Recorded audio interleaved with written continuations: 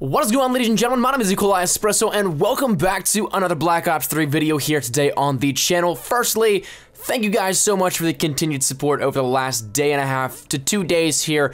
It's blown me away, seriously. I said it in the vlog yesterday, but truly, Thank you guys so much. I really do appreciate all of it. But today, what we're going to be talking about is new game content coming to Black Ops 3, or rather some updates also that may be in on top of new game content here in Black Ops 3. So with this one, a few days ago on January 8th, David Vonderhaar tweeted out, we are working on bugs, new features, game tuning, and new game content it's hard out here for a COD pimp. So with that, a lot of people made a lot of speculations as to what exactly we could see here, and a few days later, it's a little bit more clear as to what it could potentially be, and maybe even some actual hints at what some of it will be. The first one being something that he tweeted out later, as in yesterday, it was a poll to raise the team deathmatch score limit or not, to which it would be raised to 100 rather than 75, and at this current point in time, time. The poll is sitting at 86% in favor of raising it to 100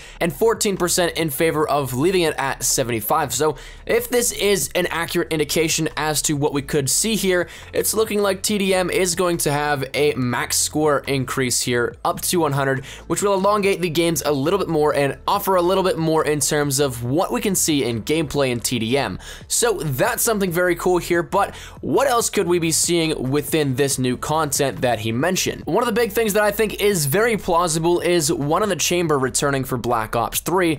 As you guys can see on screen right now, massive thank you to Mr. JaRni here. He's the one that allowed me to use this footage. We're only going to show a brief little bit here of it, but as you can see in the PlayStation 3 files, you can actually find that one in the chamber is in the game files and you can pull it up and actually bring it into a custom game here. So Black Ops 3 does have one in the chamber in the game code. It's just a matter of if it will actually come into the public playlists. And now finally, this last piece that I want to discuss with you guys a little bit here deals a little bit with multiplayer and a little bit with zombies. This one, digging through code here, we can actually find things such as the Time Bomb, the Ray Gun Mark II, the Peacekeeper, the Barrett 57, as well as the PDW and DSR here here in leftover code. Whether or not that's just copy and pasted from Black Ops 2 and actually just leftover code, not making it in the game, that is something I think is a little bit more plausible. But there is some stuff within the game code that does hint maybe otherwise.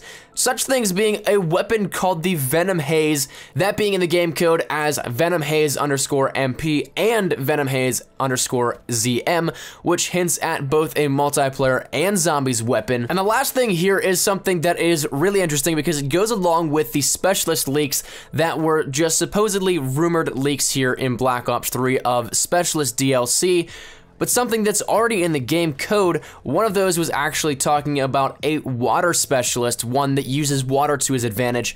What's interesting is that in the game code specifically, there's specialist underscore hero underscore ability underscore water thruster boost and specialist underscore hero underscore weapon underscore water cannon. That is really interesting here because a lot of people thought this was something that was just a little bit too absurd to make it into Black Ops 3's multiplayer, but as you can see by code actually pulled from the game files, that is actually something written in the game files itself. So, is it something we could be seeing here within the near future with new game content like David Vonderhaar is talking about? Or do you think this is just all a little bit too far-fetched here? I'd love to hear your thoughts, and also, if so, what would you like to see come to Black Ops 3 here as new game content? It's not limited to anything, so if there's anything you'd want to see, I'd love to hear your thoughts down there in the comment section down below. But thank you guys so much for watching. If you guys did like the video, be sure to leave a like rating down below really does help the video as well as the channel out. And if you guys are new here, be sure to subscribe. We're on the road to 25,000 subscribers. Thank you guys so much for watching. My name is eColi Espresso. I'm working to get a second video up here today. Hopefully that actually does happen. Hopefully I have time before I have to head out to work. But thank you guys so much for watching. I'll see you guys later. Take care and peace.